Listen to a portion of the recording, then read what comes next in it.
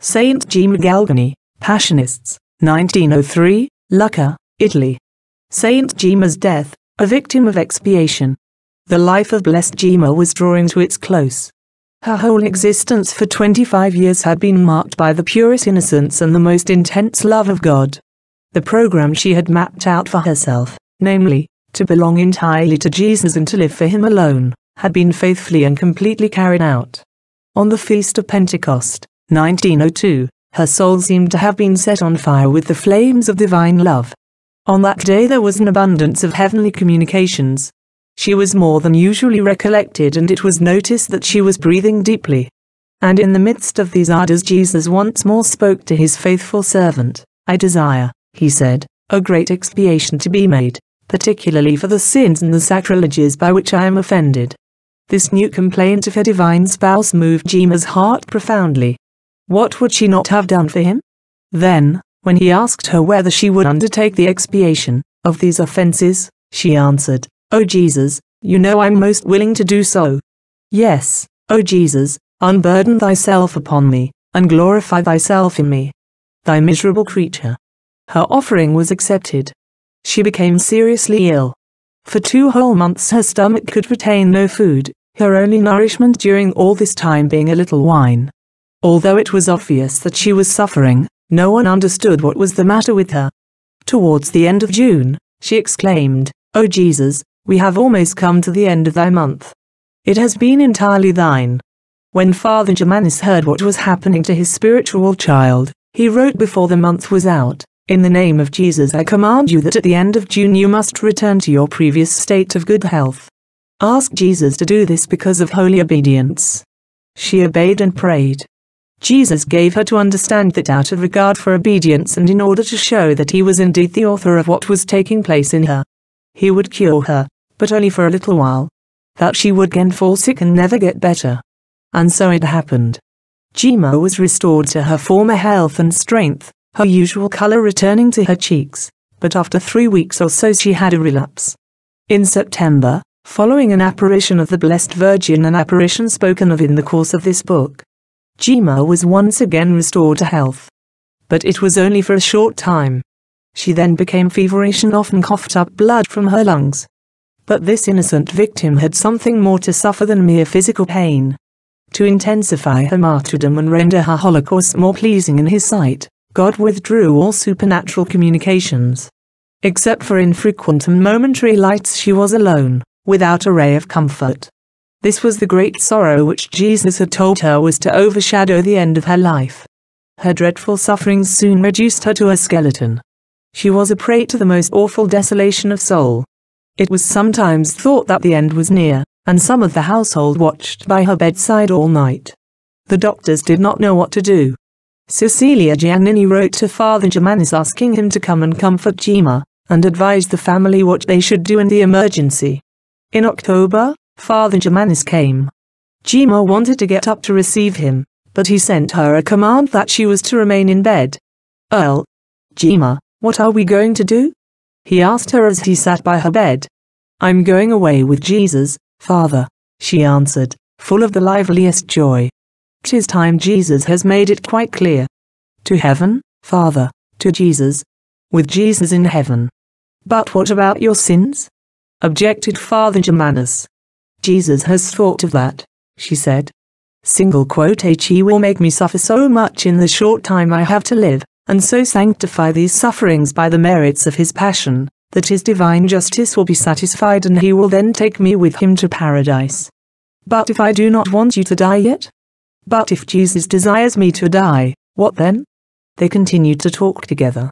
They discussed the particulars of her death, the reception of the last sacraments, her burial, and the care of her body which she did not want any profane hands to touch, because of Jesus, she said. That evening Father Germanus once again heard her general confession. On the following morning she received the Holy Viaticum. In spite of her fever she did not want to break a fast even with the drop of water. She sat up in bed, with assistance, dressed as a bride with a white veil on her head. She had spent the whole night in fervent preparation, her heart on fire with loving expectation. Father Germanus retired to a corner of the room to pray. The priest came with the Blessed Sacrament, But Gemma was already she was detached from everything and everybody, and in the end even from me, so that I began to think that she no longer cared whether I was near her or not. I therefore reproved her, pointing out that she was ungrateful and that Jesus could not be pleased with her conduct. Have I not done a little for you?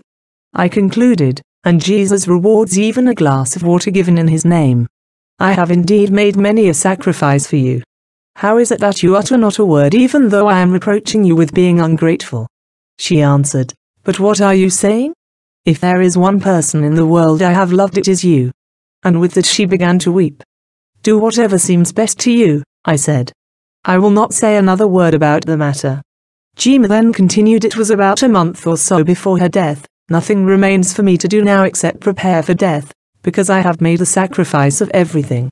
Even of Father Germanus? I asked. Yes, she answered, even of him. If Cecilia Giannini could have read her adopted child's heart she would not have been disturbed by such fears. In writing to Father Germanus Gemma revealed her inmost thoughts. After taking away my earthly mother, she confided to him, Jesus gave her back to me in the person of Aunt Cecilia. But now I am orphaned once more. Twice I have been an orphan on earth. When the question of her leaving the Gianninis was still under consideration, Father Paul Day, who knew her well, when alone with her one day, said, You know, of course, that they want you to go away because there is a possibility of your having tuberculosis? They are doing what is right, she replied calmly, but all the same I have not got tuberculosis. But Gemma, Father Day continued, you don't possess a penny, and what will you do when they put you out on the roadside? She smiled, Father, is not God also on the roadside? Where God is, there are all things. A sublime answer indeed, an answer that reveals Gemma's inimitable candor and her childlike abandonment in the loving arms of God. Sufferings upon sufferings. Gemma's sickness continued its course with all the usual improvements and sudden relapses. Its acute crises were terrifying, and it was often necessary to give her oxygen to revive her. These sufferings increased in intensity as her death drew nearer. Her sufferings were unheard of. Thus the Carmelite, Sister Giselda, summarizes the various depositions made in the processes. Her stomach could retain no food, not even a few drops of liquid, and the vomiting increased the pain in all her limbs, each of which suffered its own particular martyrdom. Her cough racked her whole body and she had great difficulty in breathing. Then the Lord took away her sight, and her voice grew so weak that she could scarcely speak. Nevertheless, in spite of this, she never craved for any alleviation, or looked tired or sad. She never asked to be moved or raised in bed, even though she was lying in an uncomfortable position. During the whole of her illness, declared Mother Giannini, single quote she asked for nothing, not even a drop of water. The Barbantine sisters who had attended to her previously were asked to nurse her. This was done because, doubtless through some misunderstanding, she had been left alone a few nights when she had been in particular need of assistance. But she had not complained, Gemma's room was a school of virtue. The sisters never saw in her angelic face any trace of melancholy or of suffering. She was always calm and full of peace. Gemma and the sisters once spent an entire night in talking about God. The sisters were edified by her conversation, and on the other hand she was helped thereby to concentrate her mind on prayer. Let us say our prayers together, she said to them. Let us occupy ourselves with nothing except Jesus alone. Once at the height of her sufferings they asked her, if Jesus allowed you to choose between going to heaven immediately and remaining here to suffer on the understanding that this latter would redound to his greater glory, what would you do? She answered, It is better to suffer than to go to heaven, if it is a question of suffering for Jesus, and promoting his glory. The intensity of her pain, and more frequently, the violence of the assaults of the devil, sometimes drew from her such complaints as this, O my Jesus, I can bear no more and the sisters at once remarked that with God's grace all things can be borne, and from that time whenever visitors said to her with compassion, Poor thing! I'm sure you cannot bear much more, she immediately replied, single quote why yes, I can bear a little more. Even in the midst of her sufferings, she never changed. The ingenuous simplicity that characterized her life was just as observable during her last days on earth. A school of virtue, a virtue that shone forth conspicuously in Gemma during her last illness, was her humility. One could not help being profoundly moved on hearing her ask Jesus and Mary to pardon her faults she whose life on earth had been always so angelic. Her favorite ejaculatory prayer was, Me Jesus, mercy. She prayed continually. A large crucifix hung on the wall of her room, on her right hand, and in front of her bed a picture of the Blessed Virgin. When she was so exhausted that she could not speak, she still fixed her mind on God. One had only to see her face to realize how recollected she was. Monsignor, she used to say, told me that when I could not pray with my lips I was to pray with my mind and heart, and I am doing so. Before she lost her sight she used to read St. Alphonsus Liguori's Preparation for Death. Are you not sorry you are going to die? Gemma? She was sometimes asked by Cecilia Giannini.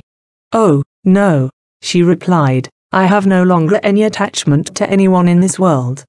When Cecilia knelt by the bedside, weeping, Gemma comforted her by saying, Aunt, I know your character. You worry too much. You are upset at seeing me suffer so much. Go away, go away far from me. Yes, go away and do not worry so much about me. She had good word for everyone, and was most grateful for any attention. One day Gemma overheard Cecilia Giannini encouraging the sisters by reminding them of the recompense they would receive. On hearing this, Gemma's face lit up. No, no, she said, leave that to me. I will think of the sisters when I am with Jesus. Gemma was always happy with children. It was a case of like meeting like. While she was at the Gianninis her benefactors the children were often with her, and when she had left they often asked to be taken to see her and she always had a kind word and a smile for them and gave them the cakes and other dainties which had been sent to her by friends. She did not forget the Mantellate nuns but sent them sweets and other delicacies. Whenever she received anything that was good to eat, attested Sister Julia of St. Joseph, single quote as she put it aside for Sister Mary. She knew that we nuns are poor. On the last day of her life, her sister Angelina visited her and burst out crying. Gemma tried to comfort her. Don't cry, Angelina, she said, there is nothing to be sorry about. And then she asked Angelina's pardon for the bad example she had given. It need not be said that this only grieved Angelina all the more. She began to cry again and in her turn asked Gemma's pardon. Think no more about it, said Gemma on saying goodbye, but try to be good. Struggle with the infuriated demons. Gemma had to endure more than the sufferings caused by her sickness. During her last days the devil attacked her violently. It would seem as if the powers of hell were determined to make her pay dearly for all the victories she had gained over them. But these new assaults supplied her with new opportunities for further triumphs, and could end only in their greater confusion. From October until the day of her death, declared Mother Gemma Giannini, single quote as she was tormented by the devil, who appeared to her under horrible forms. I often saw her bed shake, and the servant of God like one who had fainted after a cruel beating. Sometimes after these diabolical attacks an indescribably fetid odor seemed to hang about the room. Gemma had been forewarned in ecstasy about the violent struggle she was to engage in with the powers of evil until her death. Cecilia Giannini has left us the following account. I heard her say one day in ecstasy, provided you art not glorified less, do what you desire with me, but give me strength and help me. A few days later I asked Gemma to explain these words. What new thing is going to happen Gemma? I asked. There will be a great struggle, she answered, and it will be the biggest and the last. Above all, the devil sought to drive her to despair. So this is the reward for all your sacrifices in the service of God, he suggested. And then there came before her imagination all the sad vicissitudes of her sorrowful life, the misfortunes that befell her family, the death of her father, the heartless creditors who even searched the children's pockets, her various painful sicknesses. She was tempted to think that she was a victim of delusion and hypocrisy. She began to fear that she had deceived everybody and that her life had been one long act of deception. This imagining filled her with fear and dread. She had to do something about it, so she wrote as well as she could in that trouble of mind, a confession of her whole life, and sent it to a priest with a request that he should come and give her absolution. He came and reassured her, and once more her soul was in peace. The devil, however, did not give up the struggle.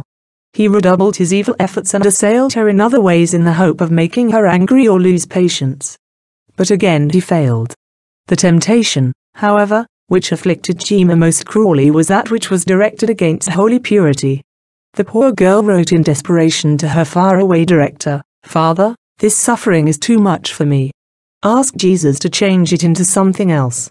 From where you are send threats and exorcisms to drive away this beast, or send your guardian angel to hunt him out of this place. That beast, declared Cecilia Giannini, almost killed Gemma. I came away from her room weeping. The brute was determined to have her and she had no protection. There were deafening blows. And the devil assuming the form of ferocious animals tormented her. We used to help her by sprinkling holy water over the room. The commotion would cease then, only to begin again worse than ever. The few drops of liquid she could retain in her stomach were made sickening and disgusting by the appearance in them of revolting and horrible insects. Filthy animals used to crawl about under the bedclothes and a snake twisted itself round her from head to foot, trying to suffocate her. She asked that exorcisms should be employed, but when her request was not granted, she took it upon herself to make them, evil spirits. She commanded, I order you to go back to the place to which you belong, otherwise I shall accuse you before my God. And then she would turn to the Blessed Virgin and in a voice that brought tears to the eyes of those who heard it, say, O Mother mine, I am in the hands of the devil, who is tormenting me, who beats and scourges me. O Jesus, do not abandon me. O Mary, pray to Jesus for me. After each assault, her one thought was had she offended Jesus. Where art you, O Jesus? She would be heard to say repeatedly. Do not think that I want to do aught else but thy holy will. You know the truth, for you see my heart, O Jesus, if it be thy good pleasure, give me a little respite. I feel that the struggle is almost too much for me. So please grant me a little rest, Jesus. And Jesus heard her prayer, but the moments of peace in which he and her guardian angel used to encourage her to persevere bravely, were short and rare. The storm would burst upon her more furiously than before. It was in this manner that Gemma, an innocent victim, passed her days and nights on her bed of sorrow. But the abandonment had to be absolutely complete. It would seem that she was receiving too much assistance, too much strength from Holy Communion, and she had to make a sacrifice to Jesus even of this. Mother Gemma Giannini deposed, during her sickness she continued to receive Holy Communion every day. Because of the strain on her health we wished to prevent her from receiving, but Monsignor Volpi told us to allow her to go, saying that this was the only consolation that remained to her. Early in the morning I accompanied her to the Church of the Rose and afterwards came back home with her. A fortnight before her death, I took her to the church as usual, but she was so weak that she was unable to go to the rails, and in consequence she did not receive Holy Communion that day, and this was a great sacrifice for her. It was to this church also that Mother Gemma, then Euphemia Giannini, used to go with Gemma for the devotions of the month of March in honor of Saint Joseph. Gemma always had a special devotion to this patron of a happy death, and desired to make sure of his powerful assistance in the last moments of her life. Euphemia Giannini looked after Gemma with sisterly care, and in giving evidence in the processes spoke with particular emotion of the following incident. During one of Gemma's violent attacks of coughing, that seemed to be on the point of suffocating her, Euphemia was standing by the bed lovingly attentive. Gemma looked up at her lovingly to say, Learn, Euphemia, how Jesus desires to be loved. Gemma lived for a month at her new home, her last earthly dwelling place. During this period Father Peter Paul Moreschini came to give her his blessing for the last time. She was overjoyed at seeing once more one whom God himself had won to her cause and who had helped her so much in the days of trial. Father Peter Paul Moreschini gave the following deposition in the processes regarding this visit. I heard her confession and knew that she was in a state of unmitigated suffering. The afflictions she was subjected to by the devils were unceasing day or night. Her illness, which according to the doctors was tuberculosis, had reduced her to an extremely weak condition, and I was persuaded that her death could not be far off. The gates of heaven opening to revive Saint Gemma. Gemma's death was indeed near. Heaven was about to open and welcome her within its gates forever that abode of the blessed she had sighed after in life. Make haste, O Jesus. Give me strength and make haste. She was heard to exclaim in ecstasy, but shorten the time that is now so wearisome to me. Break this chain that binds me to earth and holds me back from heaven. Let me come to thee. And again, O paradise, In thee there will be neither night nor darkness, nor changes of things or time. O paradise, where God of God and light of light dwells. It is illumined by the sun of justice and the sacred heart will fill it with divine brightness. For the consolation and joy of heaven is indeed to contemplate God, the King of kings. O paradise, how long have I desired thee? Who can ever describe thee? A desire that never annoys, a plenty that one never grows weary of. What happiness, O Jesus, to dwell in thy paradise. On hearing these outpourings, Cecilia Giannini had asked Gemma, why do you desire so greatly to go to heaven? Have you not got Jesus here? Single quote Why yes, she answered, but I do not see him as he is in heaven. One day I did see him a little better, but my eyes were burnt by the sight. And then I remembered, continued Cecilia Giannini in her deposition, that I had once noticed that her eyes were sore and red, and that I had scolded her, saying, even your eyes are sore. There is not a bit of you healthy but she kept silent, and on the following day her eyes were all right.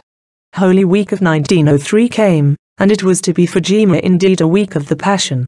From the pains she suffered in her body, from the deathly pallor of her face and the anguish of abandonment she experienced in her soul, she seemed, according to the witnesses, an image of Christ dying on the cross. A life of sorrow and martyrdom could have only such an end. She had longed and prayed to die on a great feast and her prayer was granted. Saint Gemma would die on the Feast of Feasts, Holy Week, Easter. On Wednesday of that Holy Week she was allowed to have even on her bed of sorrow a slight foretaste of the reward that awaited her. When she came out of an ecstasy, the sister asked her if Jesus had consoled her. Oh, she answered, if you were to have even a glimpse of what Jesus allowed me see, you would be overjoyed. On that same day she received the Holy Viaticum. From March the 23rd she had been deprived of Jesus, who had always been her all, her very life. She desired to receive him again on Holy Thursday. So as not to be disappointed she remained fasting in spite of the burning thirst she suffered. It was another heavenly scene. After receiving Holy Communion she was rapt into ecstasy and saw a crown of thorns.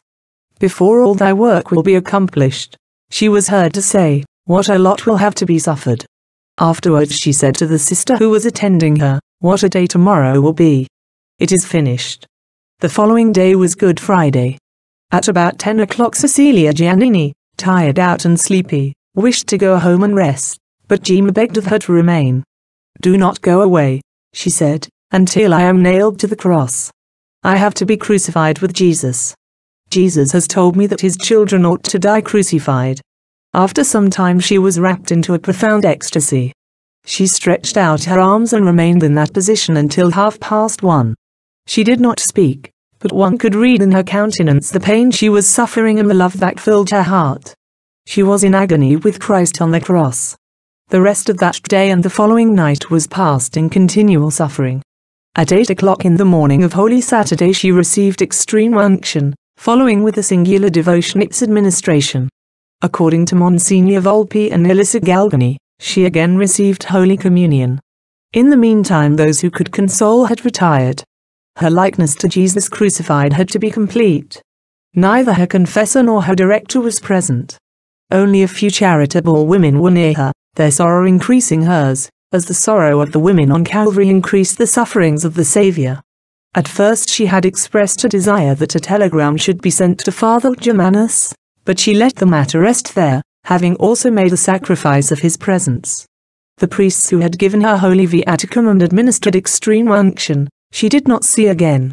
A priest and a Christian is all I want, she had said, or as Canon and Dukes T records, a crucifix and a priest is all I require when I am dying.